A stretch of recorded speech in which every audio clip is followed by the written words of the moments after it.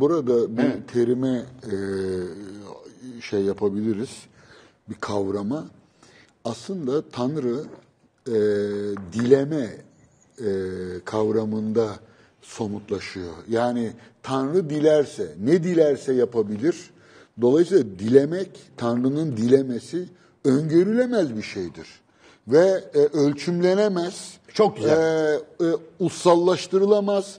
Ne zaman neyi dil- dileyeceği kestirilemez. İnşallah bizde mesela inşallah maşallah Güzel. Aynen öyle bak. Ama burada çok güzel bir şey var. Şimdi Tanrı'nın dilemesini ağırlık tanıyıp onu ön plana çıkarıp Tanrı'nın kudretini, Tanrı'nın layüs elliğini yani deyim yerindeyse egemenliğini ön plana koyarak olayı düşünebilirsin. Ama Tanrı'nın sadece kudretini değil, hikmetini, bilgeliğini, sevgisini, Tanrı'nın merhametini ön plana koyarak da bunu düşünebilirsin. Bilmem ne demek istediğimi anlatabildim mi? Yani o zaman şu olur. Ne eylerse güzel eyler. Görelim Tanrı ne eyler? Ne eylerse güzel eyler. Bak inanç neye dönüştü? Bu da teodike Yani burada şu olmadı artık. Ya adam öyle bir gücü vardır ki. Tanrı'nın öyle bir gücü vardır ki. Onun önünde hiçbir kudret duramaz. E bunun bir değeri yok. Onu herkes biliyor. Burada o güce başka bir şey sağlanmaya çalışılıyor. O güce senin söylediğin o iyi niyet, o merhamet, o bizim için iyi olanı bizden daha iyi bilme unsuru ekleniyor. Bak bu çok önemli. Bizim için inşallah da o, o var işte. Anlatabildim mi? Hikmetinden sual olmaz. Ama hikmetten sual derken bunu şey yapmıyor. Ee, yani ben sual soracak adam mıyım, benim ne gücüm var, o o kadar güçlüdür ki istediğini yapar. O, o cumhurbaşkanıdır. Anlatabildim mi? Onu demiyor o. Ama şuna inanıyor. İnancının işte güzelliği orada. Yani o yaparsa yapacaktır ama iyisini yapacaktır. Ne eylerse güzel eyler. Güzel eyleyecektir. İşte inanç. A- Ama e, İşte- a- ama işte şöyle e, hayır da şer de Tanrı'dansa Tanrı'ya e, kötülük yakışabiliyor. E, yani burada şunu demek istiyorum. Biliyorum, anlıyorum demek istediğini. E, doğuda doğuda Tanrı e, Spinoza'nın bir sözü var Anladım. hatırlarsınız. Anladım. Tanrı'nın özü kudrettir der. Yani Tanrı güçtür. Evet. Ama akıldır demez. Evet. Yani e, felsefenin ile e, e, din arasındaki ilişkiler bu sefer Tanrı'nın yaptıkların akla uygun olup olmadığı gibi bir sorunu da ortaya çıkaracak. Şimdi bak ama Yani bir ölçü de gerekir bize. Şimdi burada tabii ki meselenin mantığı gayet tabii ki iyi gibi kötünün de müsebbibinin veya kaynağının uzak uzak nedeni. uzak nedeninin Tanrı olması gerektiğini düşünür, düşündürür bize. Mantığı gereği. Anlatabildim mi? Kadiri mutlaksa onun iradesinden veya gücünden bağımsız hiçbir şey meydana gelmesi mümkün değildir. E, Platon yasalarda bunu tümüyle reddediyor. Homeros da diyor e, çocuklara anlatamayacağımız iyi kötü şeyler var. O yüzden diyor iki şeyi, üç şeyi yasaklayalım. Bir, Tanrı'nın varlığını inkar et- etmeyi yasaklayalım. Ateistler aynen kullanıyor. E, bu suç olsun. İki, Tanrı bizim işlerimizle ilgilenmez denilmesine izin vermeyelim. Güzel. Üç, Tanrı'ya asla kötü şeyleri yakıştırmayalım. Tanrı en büyük iyidir. Evet. Şimdi Tamamen öyle, haklısın. Öyle diyor. bu Hristiyanlıkla da birleşecek, Müslümanlıkla da birleşecek bu Evet. e, görüş. Hayır birleşmeyecek. Yani Tam en tersi. azından bir koalisyon Tam tersi olacak.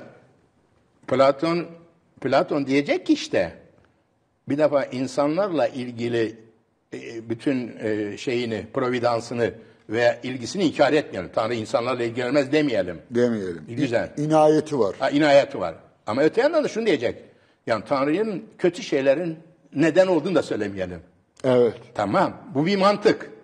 Ama işte öbür tarafta başka bir mantık var. O mantık da Homero, şu. Homeros'taki tanrılar Tamam. her şeyi yapıyor. Ama şimdi bak öbür taraftaki mantık da şu. Ne dedik? Tanrı'yı öyle bir konumladık ki.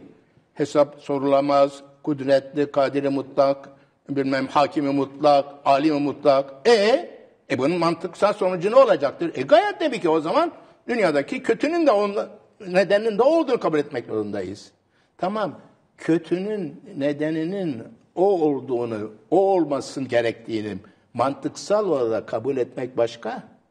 O temayı, o kavramı, o unsuru işleyerek Tanrı'nın egemenliğine bu yönde ön plana çıkararak atıfta bulunmak ve onu bir e, ne diyelim e, e, layüsel, sorumsuz bir despot olarak tanımlamak başka bir şey.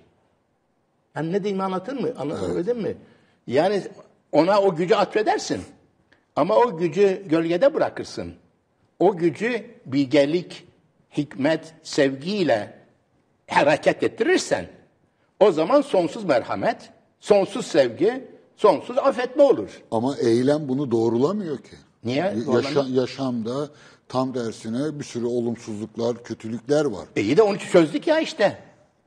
Onu çözdük ya. Onda hesap sormuyoruz kendisine. Yani şunu demek Hesap sormayacağız orada kendisine. Hristiyan yorumu, Hristiyan yorumu. Şimdi e, e, hatta şöyle e, bir özetlemeyi deneyeyim hocam. Peki. Şimdi Tanrı mutlak güç. Evet. Kadiri muhtar ya da faili muhtar, kadiri mutlak. Tamam. Bur- buraya kadar bir sorun yok. Zaten ilah demek Arapçada da e, güçlü demektir. Peki Yani- boş ver onları Tamam. şimdi sen. Evet. Şimdi e, bu gücün e, belirlenimlerini neyle ölçeceğiz? Peki. Hristiyanlığa bakarak merhamet, sevgi bunu yaptı ama vücudunda çıban çıktı ama niye acaba? Güzel. Belki de kanser olmaman içindi. Mesela. Evet. Ya da seni seviyordu yanına aldı. Peki. Tamam. Bu yani Tanrı'nın eylemlerinde bize kötülük gibi görünen şeyler özünde kötü değildir. Tamam. Biz onun dışsal olarak bakıyoruz. Arkada bilmediğimiz hikmetleri Çok vardır güzel. filan. Çok güzel. Fakat ikinci bir e, yorum var. E, or- oraya belki gelirsiniz diye parantez açıyorum.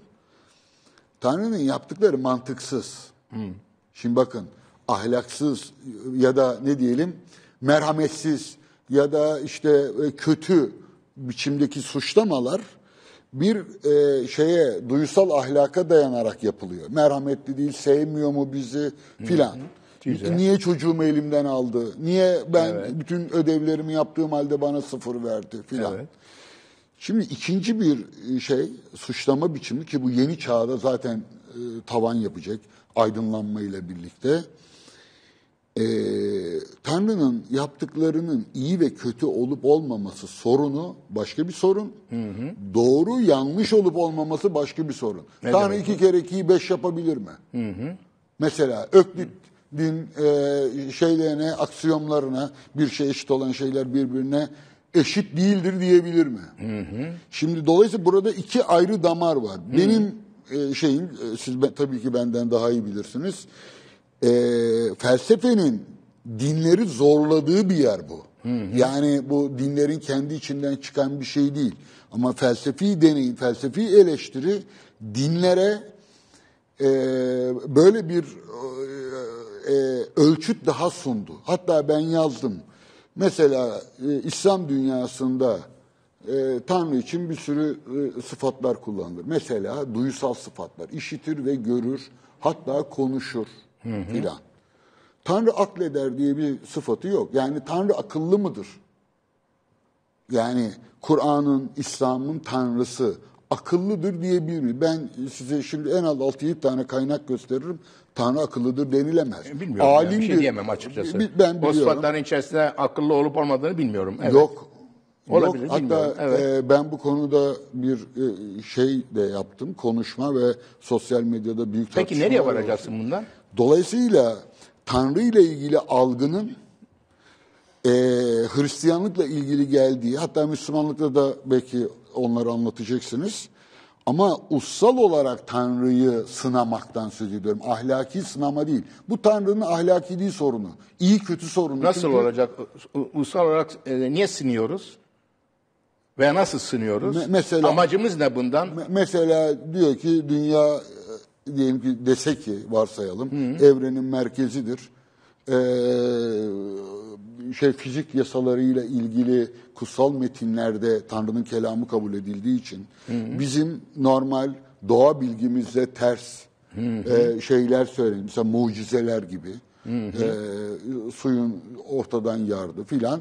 Onu bile Medcezir'e filan indirgemek gerekir.